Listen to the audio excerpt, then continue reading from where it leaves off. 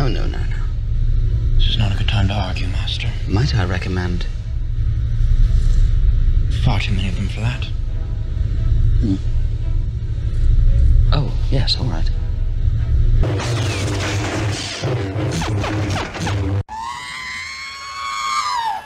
Hello friends and welcome back to the channel. Back with another video on how to get the new EA app to show your library and work if you keep getting the message of things are taking longer than usual to load up, hang tight while we try to solve the problem. Don't hang around. Nothing ever happens. This error is pretty stupid and there is no reason it should be doing this. You'll see it up here on this yellow banner. If you see this, that means it's having an issue. And this is how we can fix it.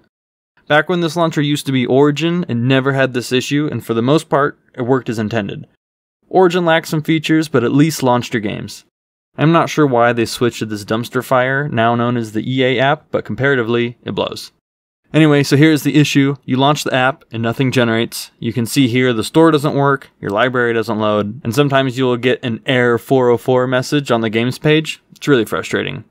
Luckily for us, the fix is extremely easy to do. It took me a while to hunt through the forums to find this fix, but luckily I did figure it out. So super easy to do. Simply launch your task manager, control alt delete, click task manager, then we will look in our processes. You're going to be looking for the EA background service right here with this little pink EA logo. Click on that, click end task, and that's it. Super simple. Now when you go back and launch the EA app, it will load properly and you can use it as normal. As of right now, you do need to do this every time you boot your computer back up, which is pretty annoying, but at least it's a pretty quick and simple process so you can at least play the games that you paid for. Another thing you can do periodically is find the EA app updater here in the start menu, launch this, and it will update your app for you. I've done this on occasion a few times, and sometimes it gets the app working. It's just for a brief period though, usually the taking longer issue will return at some point, but maybe this will help you out. Ending the EA background service task is still the best method for the error. Hopefully we will see this fixed in the near future. The Origin app wasn't the best, but it wasn't that bad, especially compared to the new EA app. EA likes to make everything difficult, so I guess we shouldn't be too surprised.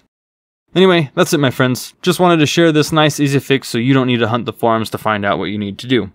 Wanted to keep this video short, and it looks like we did, so thanks for checking out the video. Hope it helps some users out. Feel free to hit the Discord if you have any issues and I'll do my best to help out. Throw a like up on this if it helped you out, and get subscribed if you want to see more helpful fixes and workarounds. Thanks again, my friends, and we'll see you in the next one.